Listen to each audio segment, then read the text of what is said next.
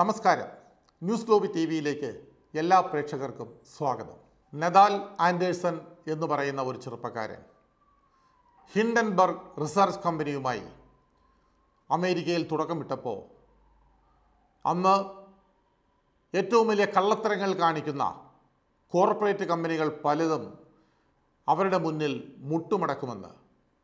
അവരുടെ കള്ളത്തരങ്ങൾ പൊളിച്ചെടുക്കുമെന്ന് ആൻഡേഴ്സൺ പ്രഖ്യാപിച്ചപ്പോൾ അന്നാരും അത് വിശ്വസിച്ചില്ല.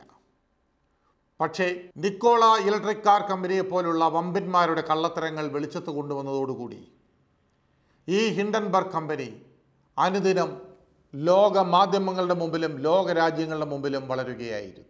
ലോകത്തെ ശതകോടീശ്വരന്മാർ ലോകത്തെ ഒന്നാം നമ്പർ കാശുക ഇവരൊക്കെ അവരുടെ കമ്പനികളിൽ എങ്ങനെയാണ് ഇത്രയധികം ഓഹരികൾ വാങ്ങിക്കൂട്ടുന്നത്? ഇത്രയധികം ഓഹരിക്ക് വാല്യൂ ഉണ്ടാവുന്നത് എങ്ങനെയാണ്? അതിലടങ്ങിയിരിക്കുന്ന കള്ളത്തരങ്ങൾ എന്തെങ്കിലും ഉണ്ടോ? എന്ന് പരിശോധിക്കുകയായിരുന്നു ഹിൻഡൻബർഗ് ചെയ്തത്. അതിലേറ്റവും ഒടുവിലിതാ ലോകത്തെ ഏറ്റവും വലിയൊരു ഭീമനായ ഇലോൺ മെസ്ക് കഴിഞ്ഞാൽ രണ്ടാം സ്ഥാനത്ത് ലോകത്തെ കോടീശ്വരനായി മാറിയ ഗൗതം അദാനിയും വീണിരിക്കുന്നു. ഗൗതം അദാനിയുടെ ഇപ്പോഴത്തെ തകർച്ച കാരണം ഇന്ത്യൻ ഓഹരി വിപണി പോലും തകർച്ചയിലാകാൻ പോകുന്നു എന്നുള്ള വാർത്തകളാണ് പുറത്തു വരുന്നത് സാധാരണ ഒരു കച്ചവടക്കാരനായിരുന്ന അദാനി പ്രധാനമന്ത്രി നരേന്ദ്രമോദിയുമായുള്ള ബന്ധത്തെ തുടർന്ന് അടിക്കടി ഗുജറാത്തിൽ വളർന്നു വന്ന ഗൗതം അദാനി എന്ന ആ വ്യവസായി വമ്പൻ സാമ്രാജ്യങ്ങൾ കെട്ടിപ്പടുക്കുകയായിരുന്നു. ഏതാണ്ട് മൂന്ന് വർഷം മുമ്പ് ഇരുപത് ബില്യൺ ആസ്തി മാത്രമുണ്ടായിരുന്ന ഗൗതം അദാനി വെറും മൂന്ന് വർഷം കൊണ്ട് നൂറ്റി ഇരുപത് ബില്യൺ ഡോളറിന്റെ ആസ്തി ഉള്ളവനായി എങ്ങനെ മാറി? ആ കഥകളുടെ ചുരുളാണ് ഈ ഹിൻഡൻബർഗ് അഴിക്കുന്നത്. അദാനി പോർട്ട് അദാനിയുടെ കൽക്കരി വ്യവസായം അദാനിയുടെ ഊർജ വ്യവസായം തുടങ്ങി ഒരുപാട് ഒരുപാട് കമ്പനികളിൽ നിക്ഷേപിച്ച നിക്ഷേപകർ ഓഹരികൾ എടുത്ത നിക്ഷേപകർ. അവർക്ക് ഇന്നത്തെ കണക്കനുസരിച്ച് ഏതാണ്ട് പത്ത് ലക്ഷത്തി നാൽപ്പതിനായിരം കോടി രൂപയോളം നഷ്ടമാകുമെന്നാണ് അറിയാൻ കഴിയുന്നത്. ഇന്ത്യയിലെ തന്നെ പൊതുമേഖലാ സ്ഥാപനമായ എൽ ഐ സി പോലും എഴുപത്തിനാലായിരം കോടി രൂപ അദാനിയുടെ വിവിധ കമ്പനികളിൽ നിക്ഷേപിച്ചിട്ടുണ്ട്. State Bank of India Axis Bank I C I C I bank തുടങ്ങിയ ബാങ്കുകളൊക്കെ കൈയച്ച് കയ്യും മെയ്യും മറന്ന് നാട്ടുകാരുടെ പണം മുഴുവൻ എടുത്ത് അദാനിക്ക് കൊടുത്തിരുന്നു. അദാനിയോട് ചോദിച്ച എൺപത് ചോദ്യങ്ങൾ. ഈ ഹിൻഡൻബർഗ് ചോദിച്ച എൺപത് ചോദ്യങ്ങളിൽ ഒന്നിനു പോലും മറുപടിയില്ല. മറുപടിക്ക് പകരം ഞങ്ങൾ കേസിന് പോകും നിയമപരമായി നേരിടും എന്നാണ് പറയുന്നത്. ആ ചോദിച്ച ചോദ്യങ്ങളൊക്കെ കാമ്പുള്ളതാണെന്ന് ഇന്ത്യൻ ഓഹരി വിപണിയിലെ വിദഗ്ധർക്കും സാമ്പത്തിക ശാസ്ത്രജ്ഞന്മാർക്കുമൊക്കെ വളരെ വ്യക്തമായി അറിയാം. അമ്പലപ്പറമ്പിലിരിക്കുന്ന പകിടകളിക്കാരനെ പോലെ ഈ പകിടകൾ കറക്കി കുത്തുമ്പോൾ ചുറ്റും കൂടിയിരിക്കുന്ന ആളുകളിൽ ചിലർ അതിനുള്ളിൽ പണമിടും. ആ പണം അവർക്ക് അടിക്കും അടിക്കുമ്പോൾ ഇത് കണ്ടു നിൽക്കുന്നവന് തോന്നും ഇത് എനിക്കും കിട്ടുമല്ലോ എന്ന് ഓർത്ത് അവനും പണം കൊണ്ട് നിക്ഷേപിക്കും. അവനും ഏതെങ്കിലും പകിടയിൽ പണം കൊണ്ടിടും. പക്ഷേ അടുത്ത പ്രാവശ്യം കറക്കി കുത്തുമ്പോൾ അത് കമ്പനിക്ക് പോകും. ചുറ്റും കൂടിയിരുന്നവർ ഇടയ്ക്കൊക്കെ ഈ പണം ഇടുന്നത് കമ്പനിയുടെ ആൾ തന്നെയാണെന്ന് ആർക്കാണ് അറിയാൻ വയ്യാത്തത്? ഈ കണ്ടു നിൽക്കുന്ന പാവം കഴുതയ്ക്ക്. അതുകൊണ്ട് അവൻ വീണ്ടും വീണ്ടും പണമിറക്കും അവന്റെ പണം വീണ്ടും കമ്പനിക്ക് ചെല്ലും. അത് തന്നെയാണ് അവാനിക്കും സംഭവിച്ചത്. അദാനിയുടെ കമ്പനിക്ക് നേരെ വിരൽ ചൂണ്ടിയ ഹിൻഡൻബർഗ് പ്രധാനമായും ചോദിച്ച ആ ഒരു കാര്യമാണ്.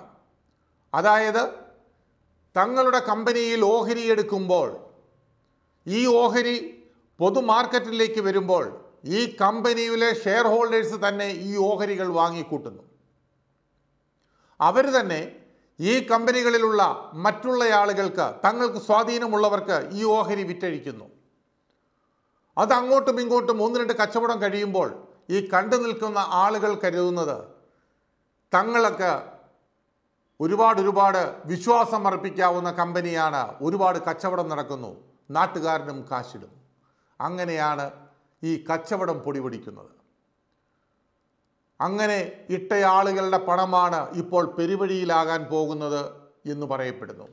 പത്തര ലക്ഷം കോടി രൂപയോളം നഷ്ടപ്പെടും എന്നാണ് പറയുന്നത്.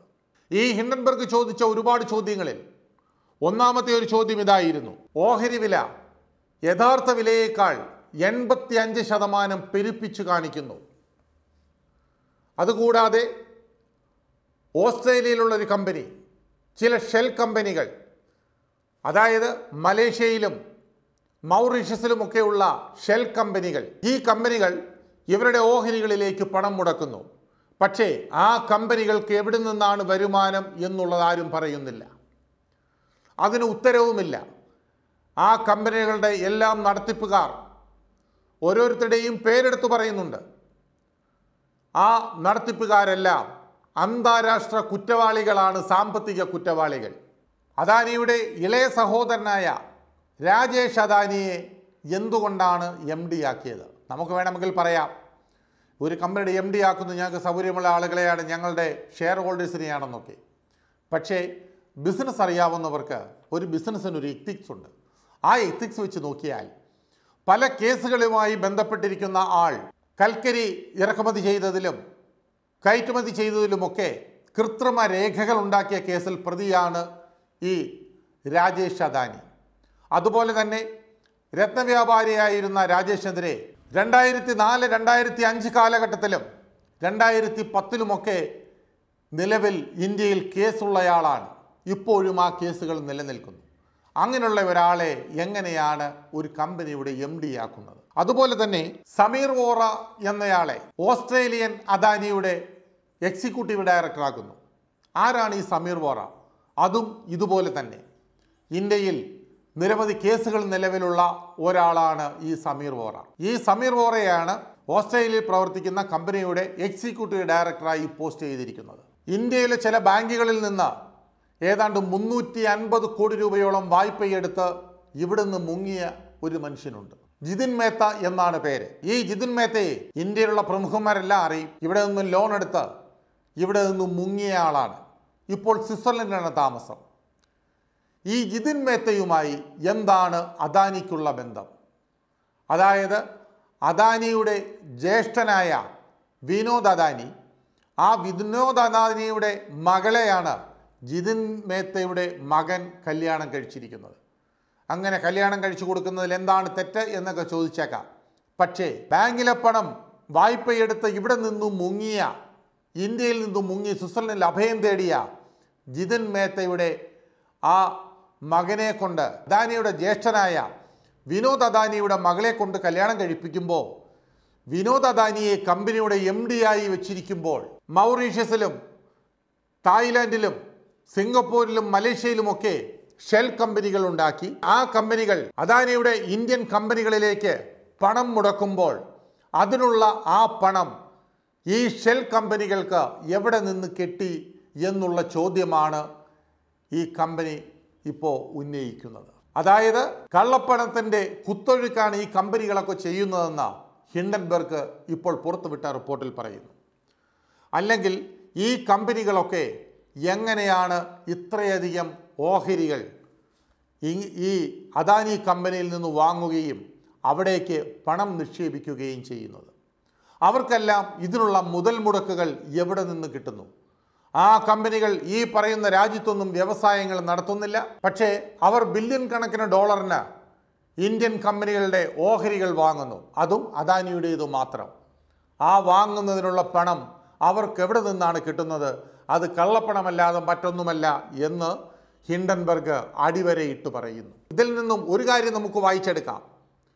ഇവിടെ ഒരു മോൺസൺ മാവുങ്കലും ഒരു റാണയുമൊക്കെ മുന്നൂറും ഇരുന്നൂറും കോടി രൂപയൊക്കെ ആളുകൾക്ക് നാൽപ്പത്തിയെട്ട് ശതമാനം പലിശ കൊടുക്കാം എന്ന് പറഞ്ഞ് തട്ടിയെടുക്കുമ്പോൾ ആ തട്ടിയെടുക്കുന്നത് നമ്മുടെ ആളുകൾ ഇങ്ങനെ അത്ഭുതത്തോടെ നോക്കി നിൽക്കുമ്പോൾ ഏതാണ്ട് ഉത്തുംഗ ശൃംഗത്തിലിരിക്കുന്ന അദാനിയെ പോലുള്ള ആളുകൾ ഒരു ലക്ഷം കോടിയും പത്ത് ലക്ഷം കോടിയും ഒക്കെ ജനങ്ങളുടെ പോക്കറ്റിൽ നിന്ന് വാരിക്കൊണ്ട് ഈ നാട്ടിൽ നിന്ന് പോകുമ്പോൾ അവർക്ക് നഷ്ടം വരുത്തുമ്പോൾ കുമിളകൾ പോലെ ഉയർന്നു വരുമ്പോൾ ആ കുമിളകൾ പൊട്ടാൻ നിമിഷങ്ങൾ പോലും വേണ്ട എന്ന് ഹിൻഡൻബർഗിനെ പോലെയുള്ള കമ്പനികൾ സത്യസന്ധമായ ചില വാർത്തകൾ പുറത്തുവിടുമ്പോൾ വായും പൊത്തിയിരിക്കുന്ന രാഷ്ട്രീയ നേതാക്കളൊക്കെ ഒന്ന് ആലോചിക്കണം.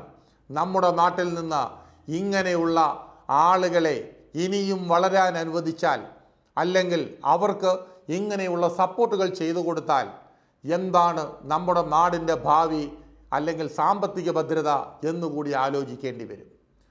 ഇങ്ങനെയാണെങ്കിൽ എസ് ബി ഐ ഒക്കെ കൊടുത്ത ലോണുകൾ ഭാവിയിലും എഴുതി തള്ളുന്നത് ചിലപ്പോൾ നാം കാണേണ്ടിയും വരും.